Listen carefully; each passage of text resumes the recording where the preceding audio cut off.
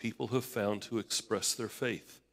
Some of them have expressed their faith by writing prayers, and some of them have written music, and some of them have made decorations to hang on a tree to remind us of the story of Jesus. We give you thanks for all of these ways that we have of learning more and drawing closer to you. Amen. Thanks for coming down and helping me finish up the tree decorating. You can go back to your seats now.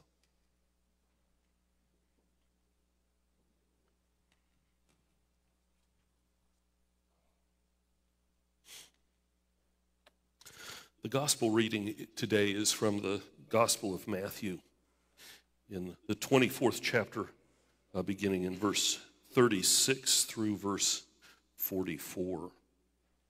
Jesus is the one speaking throughout this passage. But about that day and hour, no one knows. Neither the angels in heaven nor the Son, but only the Father. For as the days of Noah were, so will be the coming of the Son of Man. For as in the days before the flood, they were eating and drinking, marrying and giving in marriage, until the day that Noah entered the ark. And they knew nothing until the flood came and swept them all away. So it will be with the coming of the Son of Man. Then two will be in the field, and one will be taken, and one will be left. Two women will be grinding meal together, one will be taken away, and one will be left. Keep away, therefore, for you do not know on what day your Lord is coming. But understand this if the owner of the house had known in what part of the night the thief would come, he would have stayed awake and would not have let his house be broken into. Therefore, you also must be ready, for the Son of Man is coming at an hour you do not expect. This is the word of the Lord. Well, this first Sunday in Advent, isn't wonderful to walk into this sanctuary and see it so beautifully uh, decorated? Because I was away last week, I wasn't in the church until just this morning, and it's like magic is, and I know it's not. I know there are a lot of people who spent a lot of time, and, and thank you to all of you who have done such a beautiful job decorating. But I also thought about maybe we should recommend that as a Hallmark holiday movie, the decorating of the sanctuary. Can't you just see it? all the members of the congregation would be there and they'd be wearing Christmas sweaters and they'd be having cookies and cocoa and it would all be happy and joyful. There would not be a debate about whether or not the wise men should be in the creche scene or not, theological debate about the appropriateness of wise men and stables.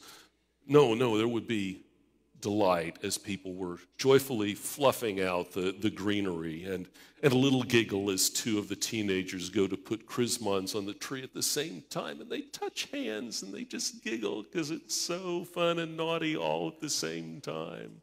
And then in the course of the evening, would be an old man who walked in, a stranger off the street because this is such a wonderful time he's welcomed in. He's given his own cup of cocoa and his own cookie and invited to put some decorations on the tree. And he puts one on that nobody notices at first and disappears. And then everything is done. People are delightedly sitting in the sanctuary, admiring their work and complimenting one another about how beautiful it is when somebody notes the envelope goes over and pulls it off the tree, opens it, pulls it out. It's the banknote on the building, and it says across it, paid in full. And the congregation knows that without knowing it, they had entertained an angel. Oh, it's been done? Well, I thought it was a pretty good idea, and it would make a pretty good, make a pretty good movie. Uh, but you know, one of the, those Hallmark movies can be a little bit cheesy, um, but they remind us about the beauty of this season. And one of the parts of the beauty of this season is, of course, this idea of being at peace, being at peace with one another. And the setting of the sanctuary and the happy gathering of the congregation and the sharing even of the cocoa is a reminder that we seek peace in this season. However, you and I also know that this has not been a particularly peaceful time. I rem- refer, of course, to the shooting deaths in Charlottesville and in Chesapeake, Virginia, and in Colorado Springs. And because I was in Colorado Springs on vacation at the time of the shooting, that one has weighed particularly heavily upon me. I don't know how that was reported in the national news. I don't know how it was reported locally in our local news. But an interesting thing in Colorado Springs, the people talked about Club Q using this word sanctuary. Club Q was for the LBGT community a sanctuary. Now, when you and I think of sanctuary, a variety of images might come to mind. Hopefully, one would be this place where, where we gather. We consider this to be sacred space, which of course begs the question what makes a particular space sacred? Well, part of what makes this space sacred is we really do come here to connect our lives to God, to say and sing prayers, to listen to the scriptures, to participate in the sacraments, and to gather together as a community for those rites of passage like marriage or, or death. But there's another understanding of sanctuary, and that is sanctuary is a place of protection. Someone will go to a church seeking sanctuary, seeking protection. You might go to an, the U.S. Embassy if you were in a foreign country and you would go there for protection. Countries can be sanctuaries, a place of protection. So it's a different meaning of the word, but still that sense that a place of protection can be sacred even if it was never set aside for a particularly sacred purpose. But feeling safe can be a sacred thing. And perhaps that's what the people who went to Club Q felt was that it was a safe and sacred place where they were protected from judgment, they were protected from shame, they were protected from ridicule. Uh, it was a place of sanctuary for them and a place of peace until it wasn't. In Advent, we pray for this gift of peace, and yet we know that peace is, if not entirely temporary, at least elusive. Listen to these words again from Isaiah God shall judge between the nations and shall arbitrate for many peoples. And they shall beat their swords into plowshares and their spears into pruning hooks. Nation shall not lift up sword against nation, neither shall they learn war anymore. It's a vision of peace that's nearly 3,000 years old. Isaiah lived in the 8th century. He lived after the reign of King David and King Solomon when Israel was a strong and united nation. In fact, at the time of Isaiah, it has split into two countries, north and south.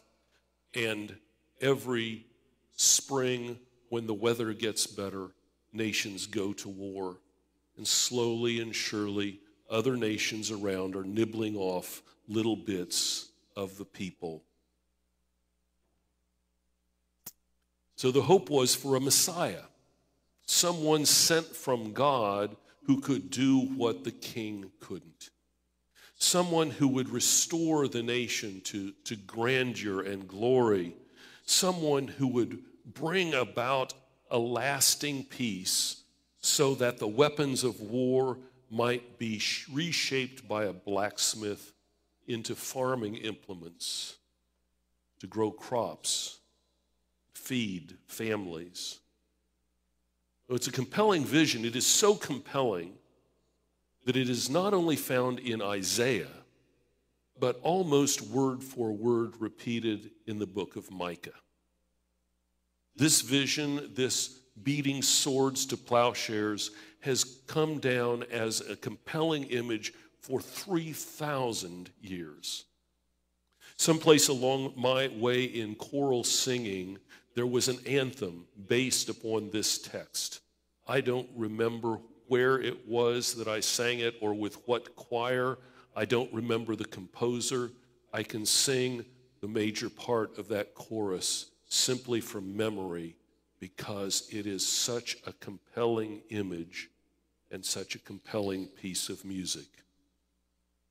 And yet here we are again, numb from an incident where peace was broken and sanctuary shattered. So, if we all long for peace, if we have had this vision that there should be peace for 3,000 years now, why can't we get there? I don't think we're capable. We're human beings. And human beings have an emotion, and one of our primary emotions is the emotion of fear. You know, when you're little, you might be scared of the dark. When you're in your teenage years, you fear being cut off from the group, or you fear that next test coming in algebra. And when you're an adult, holy cow, you worry about everything, don't you? I mean, what is there not to? You worry about your health, you worry about the economy, you worry about your savings, you worry about your retirement plan. You worry about your kids, no matter how old your kids are and how grown up they are and how they seem to be doing fine on their own, but you still worry about them, right? And, and you worry about the roof and the foundation and the dadgum kitchen appliances, right? The garbage disposal, the dishwasher, the trash compactor, the ice maker, the refrigerator, the freezer. Any of those things could break at any point in time. We worry about all that stuff. Wouldn't it be nice if all we had to do to stop worrying about stuff was to have a night light? To throw away the dark. But instead, we buy extended warranties, home security systems. Maybe I shouldn't have hung up on that person that was calling me about extending the warranty on my car. Somehow we think that all of that protection will bring us peace. I think it just ramps up our anxiety. Do I have enough insurance coverage? Well, I got that little camera thing by my front door, but I hear there's one that's more pixelated that I could get that would be even better. Yeah. So we do not have a capacity to bring about a lasting peace. We want to protect ourselves from all harm, believing that safety and peace are the same thing, and I, I don't think that works quite that way. So, the image, they shall beat their swords into plowshares and their spears into pruning hooks. 3,000 years old. People have longed for peace for 3,000 years. And the promise is that that day will indeed come. Isaiah says, in the days to come, in God's time, not ours. That's really disappointing. In God's time, not ours. When I first moved to Corpus Christi, Ray Cross thought it would be a good thing for uh, me to have a, a, a lesson in Spanish around the word manana. Now, he said to me, Alan, some people think that manana means tomorrow. That is not what manana means. And some people think manana means some indefinite time in the future. That's not what manana means. Manana means not now. When will they beat their swords into plowshares? Manana. Not now. But there is a biblical concept about time that is different from our Western understanding of time. It is the idea that something can be present at a particular moment, but not yet fully developed. It can be present here, but, but the fullness of its expression is going to be off in the future. The phrase that's sometimes used around it is the already, but not yet. Already here, but not yet fully here. So let's use that one on our theme of peace. So I hope that when you come here into the sanctuary, you come to connect with God and you come to connect with one another. You come to pray and you come to praise God. And we hope that we will be surrounded by God's peace. And not all the time, because we get distracted, but sometimes it happens that here in the sanctuary, in the course of a service of worship, we really feel that peace that passes understanding. And if we're lucky, we take it with us out of the door of the sanctuary into the next week. We enjoy it, we love it, we know it's not going to last.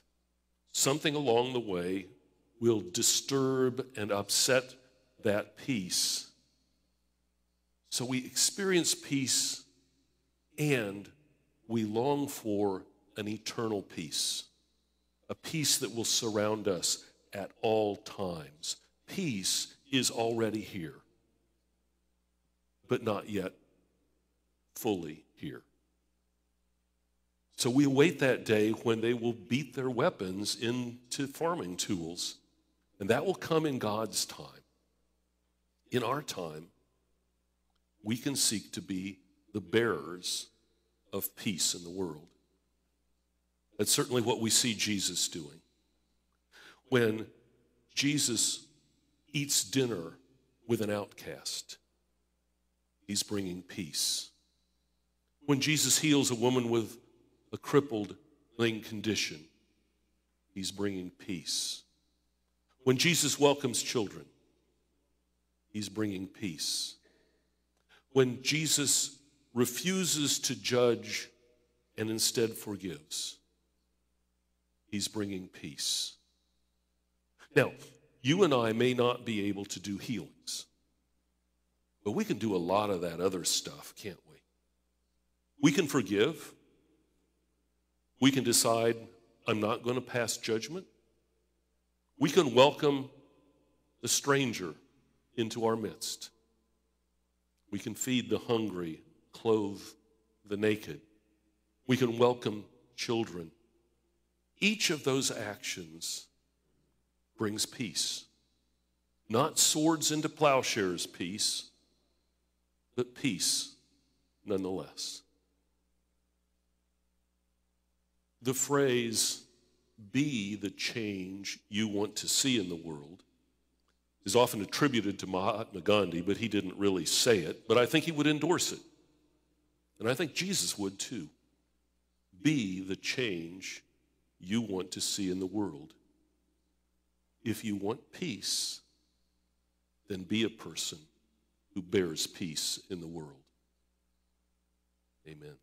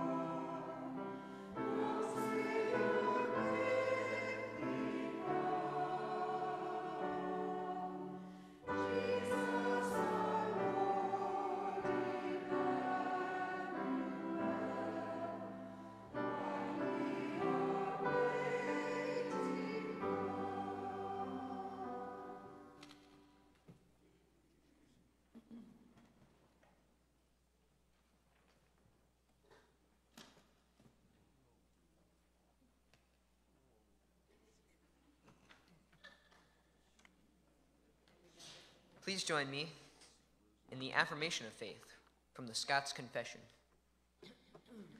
When the fullness of time came, God sent his Son, his eternal wisdom, the substance of his own glory, into this world, who took the nature of humanity from the substance of a woman, a virgin, by means of the Holy Ghost, and so was born the just seed of David, the angel of the great council of God, the very Messiah promised whom we confess and acknowledge to be Emmanuel, true God and true man, two perfect natures united and joined in one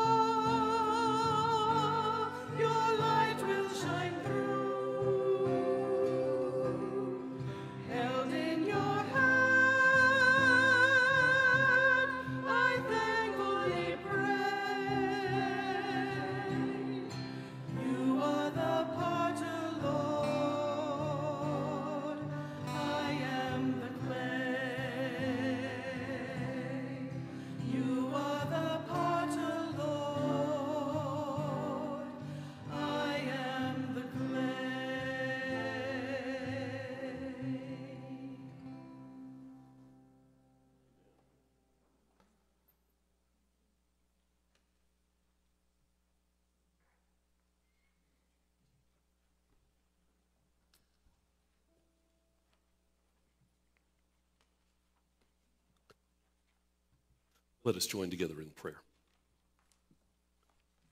Loving God, we have barely pushed back from the Thanksgiving dinner table and discovered that it's Advent.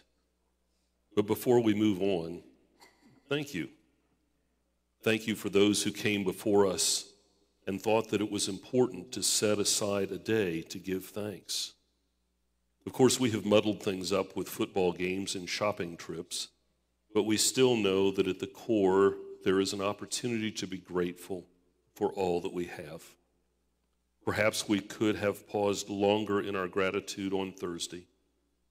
So we take a moment right now to offer you our prayers of grateful thanksgiving.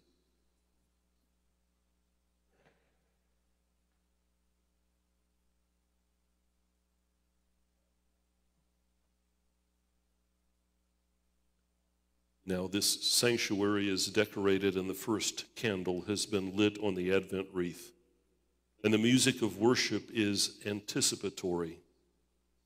While so much of the world charges ahead and the Christmas rush is taken over our calendars, we are encouraged to wait Advent calls us to wait with quiet anticipation. Help us this day and in the weeks ahead to find a moment to simply pray, Come, Lord Jesus. Come, Lord Jesus, to heal those who are hurting. Come, Lord Jesus, and comfort those who grieve. Come, Lord Jesus, and bless families with embracing love. Come, Lord Jesus, and bring unity when there is estrangement. Come, Lord Jesus, and make all things new. Come, Lord Jesus, that they might turn their swords into plowshares and their spears into pruning hooks. Come, Lord Jesus. Now, with the confidence of the children of God, we boldly pray Our Father, who art in heaven, hallowed be thy name. Thy kingdom come, thy will be done, on earth as it is in heaven. Give us this day our daily bread, and forgive us our debts as we forgive our debtors. And lead us not into temptation, but deliver us from evil. For thine is the kingdom, and the power, and the glory forever. Amen. If you are here in the sanctuary and have a financial donation you'd like to make to the uh, church, we have only one offering box today. I have looked all around to figure out where the second one was, and I can't find it anywhere. So uh, there is an offering box that you can put uh, your offering in. For those of you who are watching online, if you would like to give financial support to our ministry, there are a couple of ways to do that. You can simply capture the QR code that's on the screen, or you can go to our church website, parkwaypc.org, go to that Give tab, and then just follow the prompts underneath it. This season also gives us uh, additional opportunities uh, to give.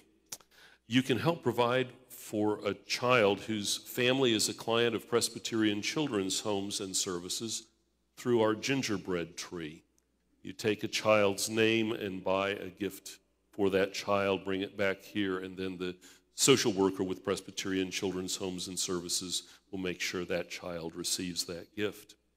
Uh, you can give a gift to someone for whom a gift is not necessary, but you would like to honor them anyway. That's the idea behind our mission market, an alternative gift where you can make a donation and specify it to go to one of three organizations to the Good Samaritan Rescue Mission, to Foster Angels of South Texas, or Heifer International, and then you are provided a card to give to the person you are honoring with that gift. And you can also give to the Presbyterian Church's Christmas Joy offering. Uh, this is an offering that's received in Presbyterian churches across the United States.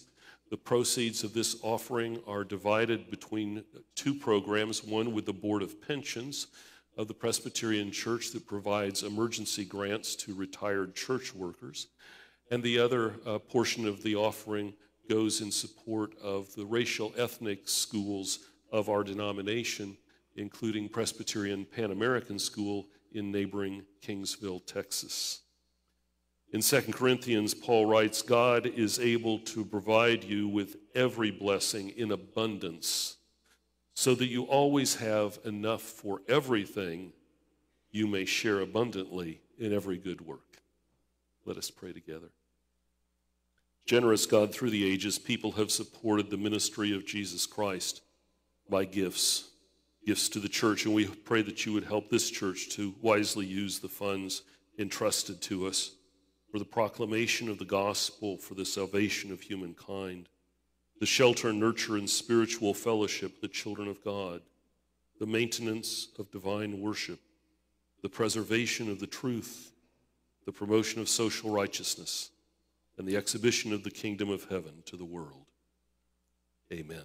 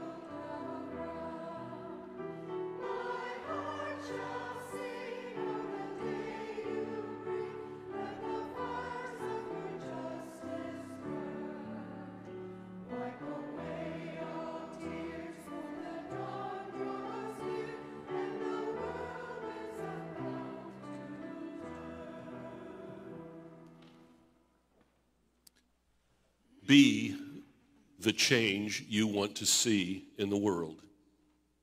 If you want to see peace, be a peace bearer. If you want to know what that looks like, look to Jesus. May the grace of the Lord Jesus Christ, the love of God, the fellowship of the Holy Spirit be with you this day and forevermore. Amen.